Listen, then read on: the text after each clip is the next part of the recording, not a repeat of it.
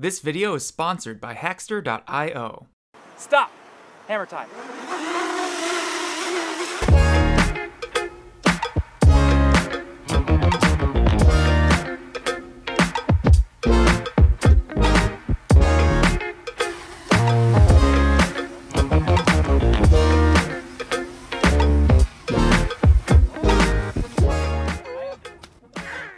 I have no idea how to fly this thing.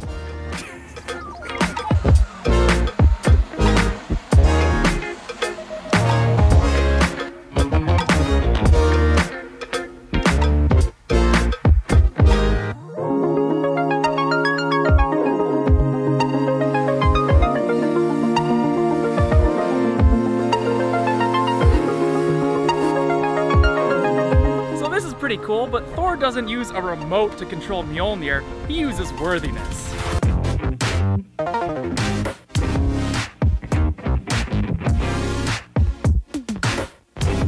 There's a button for pitch, for throttle, and an accelerometer so that hopefully I can steer this thing around out and back to me.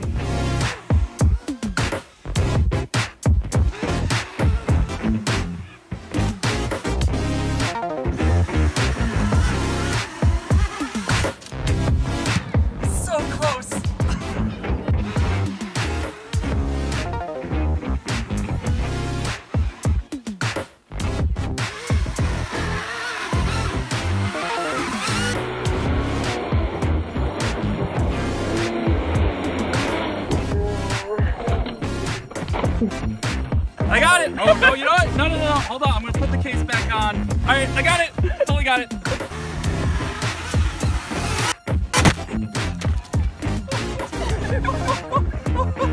Are you okay?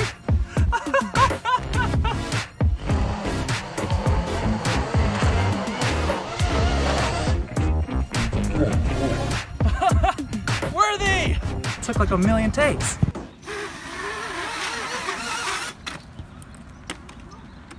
So close!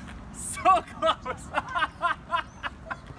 Hey Marvel nerds, Allen here. You know that quadcopters and laser cut parts aren't cheap. And every minute of video that you see on this channel has hours and hours of R&D and work behind it. And ad revenue alone doesn't cover everything. I don't want to ask you for money, and that's why sponsors like Hackster.io are so important.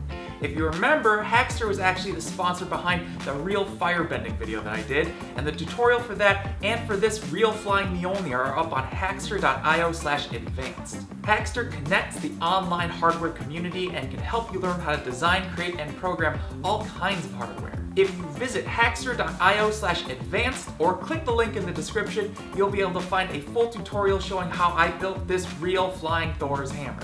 It is absolutely free to join, so make sure you go to hackster.io and join the fastest growing online community of hardware builders today. Just do it!